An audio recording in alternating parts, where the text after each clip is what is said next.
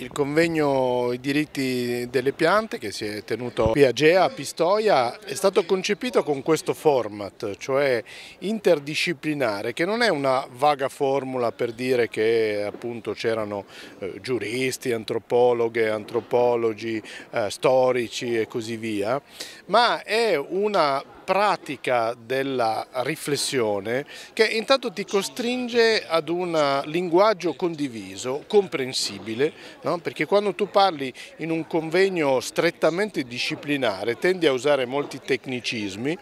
mentre un convegno interdisciplinare è immediatamente secondo me aperto ad una partecipazione più ampia, perché il giurista deve parlare in un modo che l'antropologo conosca e, e, così via, la storica rispetto ad un altro collega. Quindi è proprio un format che abbiamo scelto per una ragione, perché parlare di ambiente significa parlare di complessità, di ecosistemi, di connessioni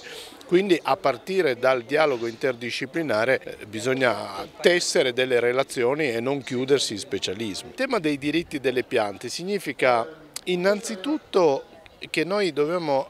riacquisire una consapevolezza dell'importanza delle nostre relazioni col mondo vegetale. Questa consapevolezza che si traduce in un cambiamento di pratiche, in un ripensamento dell'agricoltura, in un ripensamento dei nostri stili di consumo anche, quindi ha degli effetti anche molto, molto pratici,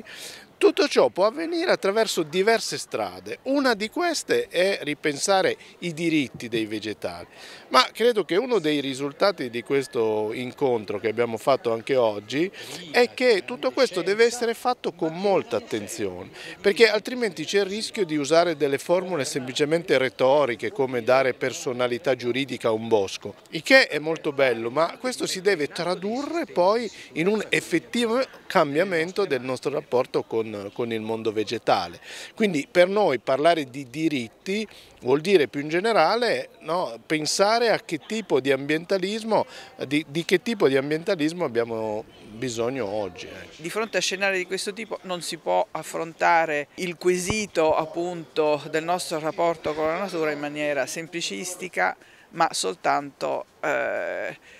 congiungendo e alleando le conoscenze di, di varie discipline che non sono soltanto le discipline, eh, chiamiamole così, tecniche, dure appunto come la biologia, che sono assolutamente fondamentali perché ci svelano e, come dire, il, il, la profondità della complessità appunto in questo caso del mondo, del mondo, vegetale che per storia culturale noi abbiamo spesso invece sottovalutato e considerato come dire, un dominio umano esclusivo come una risorsa illimitata da controllare e in qualche modo tenere eh, sotto l'occhio del profitto, perdendo di vista invece non solo il fatto che ci dia da vivere il mondo vegetale, cioè ci consente la vita su questo pianeta, ma io lo vedo anche come un esempio di come funzioni la vita. Ecco, questo ce lo può dire effettivamente chi studia, chi è uno scienziato di queste, di queste materie.